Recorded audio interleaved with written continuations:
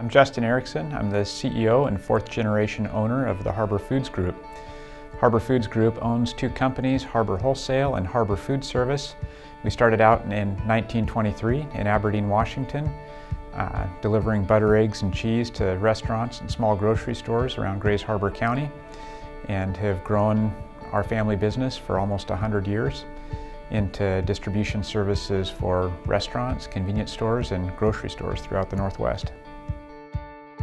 I've been CEO since 2007 and during that time we've uh, completed a number of acquisitions and expanded into new territories and built a, a, very large team of people that up until last year were primarily focused on servicing convenience stores and small grocery stores throughout the Northwest.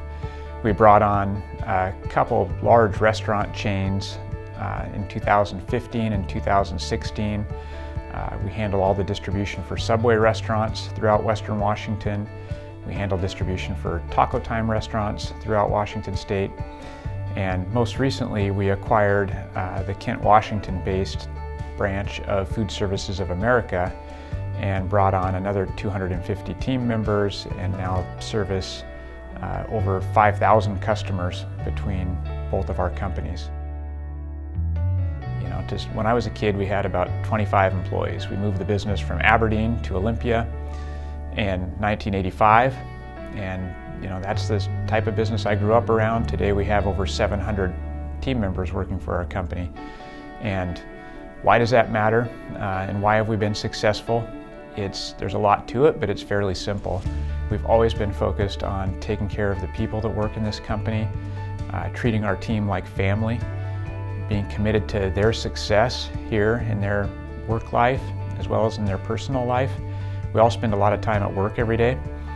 Uh, well, not all of us, but you know, uh, we spend 8 to 12 hours a day, half our lives in work, you know, working on uh, our careers. And we want that to be a positive experience for everybody that touches our company. We want to be part of their rewarding lives. And we want them to know that the work that they do here when they're at Harbor matters. It matters for our customers who are entrepreneurial small businesses that rely on us for their success. And it matters to our community. And that's a big part of what is important to us and, and why we're here. We want to create a positive impact on people's lives and we want to support our community uh, everywhere we do business.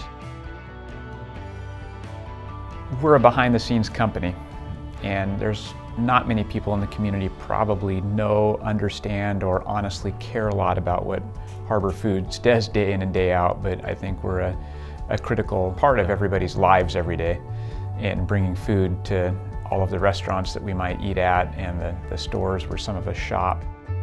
We are local and family owned and independent and our competitors are large publicly traded organizations uh, that, that are less involved in the community and less focused on local.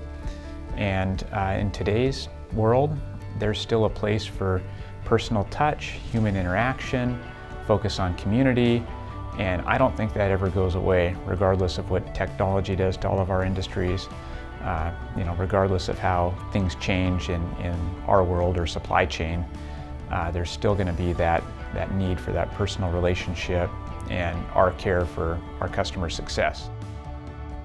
Uh, the great thing about Thurston County, the Olympia area, and our community here is uh, the overall focus on community, not just from Harbor Foods, but from all of the businesses here.